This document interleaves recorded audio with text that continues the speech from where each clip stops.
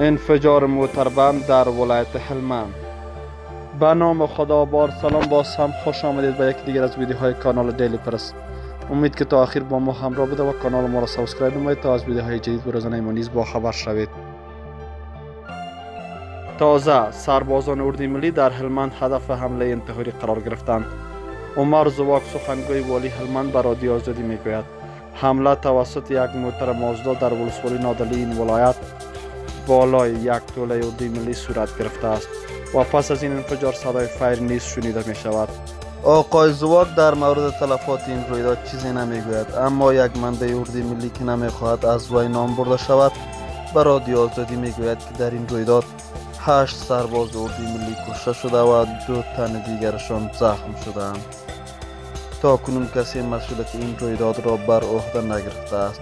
با تشکر که تا آخر ویدیو با ما همراه بودید